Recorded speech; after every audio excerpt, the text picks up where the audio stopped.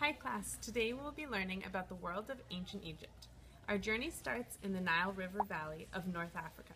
This is where Egyptians settled and created a prosperous civilization. The Egyptians are known for a variety of impressive achievements, including astronomy, geometry, medicine, and writing, known as hieroglyphics. They used these skills to build a magnificent wonder of the ancient world, the Great Pyramids. The pyramids were later used as a tomb for Egyptian pharaohs. The pharaohs were buried with all the items they may need for the afterlife, including food, treasures, and furniture.